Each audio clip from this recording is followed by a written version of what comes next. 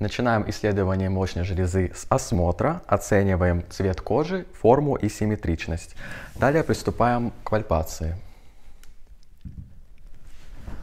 Начинаем с левой молочной железы, одной рукой придерживаем, второй пальпируем, двигаясь циркулярно по часовой стрелке, не отрывая ведущей руки.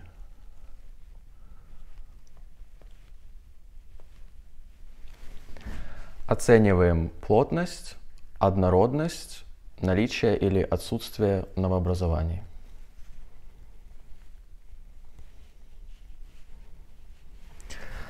Также пальпируем группы лимфатических узлов. Начинаем с аксиллярных и двигаемся снизу вверх. Подключичные, надключичные и заднешейные. Завершаем исследование молочной железы определением наличия патологических выделений из сосков.